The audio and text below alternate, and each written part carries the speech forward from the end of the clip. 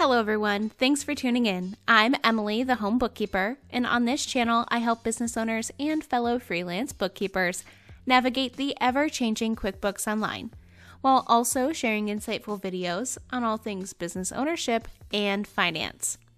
As always, this is a sample company provided by QuickBooks for educational purposes only. In today's video, I'll show you how to manage QuickBooks Online bank feeds.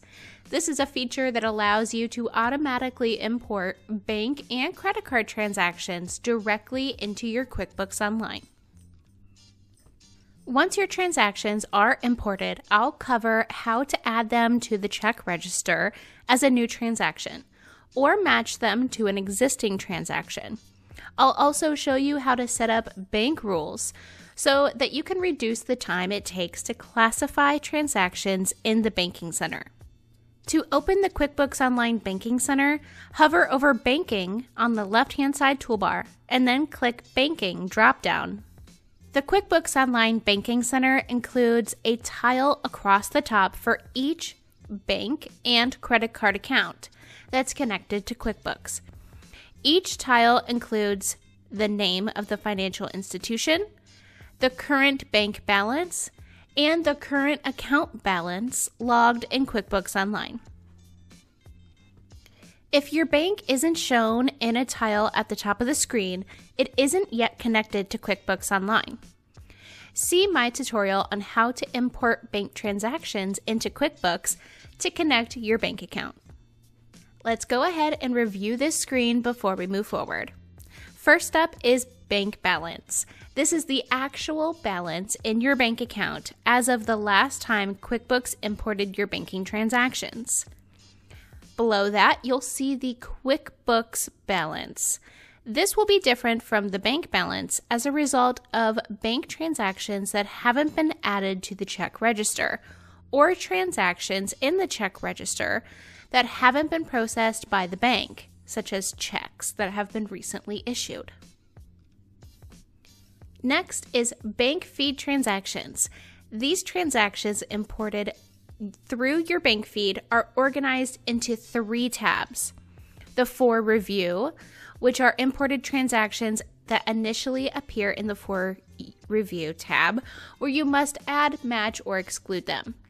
The categorized transactions, after adding and matching the transactions in the For Review tab, they're displayed in the Categorized tab, which means they're already recorded in the check register.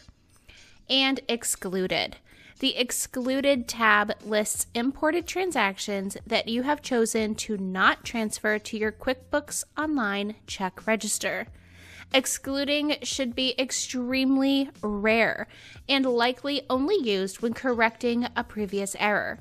All bank transactions, even if personal transactions, must be entered into the QuickBooks Online check register. All newly imported banking transactions will initially appear in the For Review tab at the bottom of the Banking Center screen. This is where you can review, categorize, and match your transactions before adding them to your accounting records. Each transaction in the For Review tab must be added to the check register, matched to an existing transaction already in QuickBooks, or excluded from QuickBooks altogether. It's crucial that imported transactions are matched to any existing transactions instead of being added as new transactions. If you add transactions that already exist, the check register will include them twice, and your bank account and financial statements will be incorrect.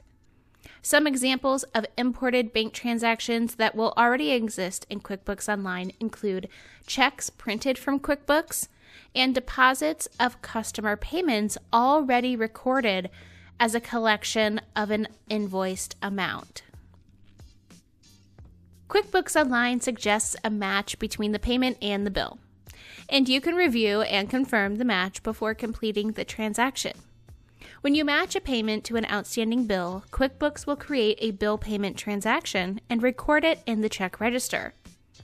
To review the details of the match, click anywhere on the transaction. When you are certain that the match is correct, click on the green Match button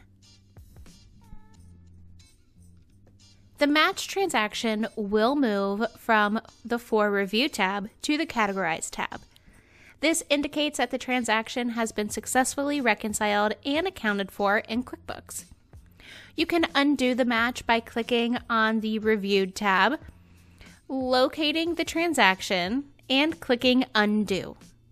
The transaction will then move back to the For Review tab, where you can categorize or match it again if needed.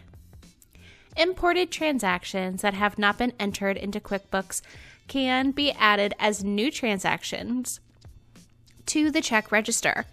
An example might be an electronic payment of an expense where the bill was not recorded in QuickBooks.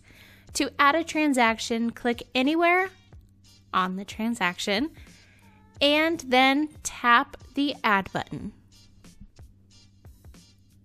The only requirement to add a new transaction is to provide a category or account from your chart of accounts. However, I highly recommend that you also provide the vendor, customer or project, class, and location so that QuickBooks has all of the available information to run useful management reports. If a class and location do not appear on your screen, you need to enable class and location tracking. I explain this in my tutorial on how to set up advanced options in QuickBooks Online. For more business resources, business supplies, gadgets, must-haves, and more, make sure to check out edjconsultinggroup.com backslash resources, linked in the description box below. And of course, like this video, subscribe to my channel, and turn on those bell notifications so you'll never miss an upload. If you have any video or tutorial requests, make sure to leave them in the comments below. And if you need more assistance, private QuickBooks online coaching, or bookkeeping and payroll management, feel free to email or visit edjconsultinggroup.com. My firm is fully inclusive and ready to help you along wherever you may be in your entrepreneurship or personal wealth building journey.